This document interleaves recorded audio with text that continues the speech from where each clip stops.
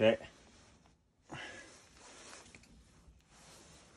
Oh, look at that big old pig, dude. Shit.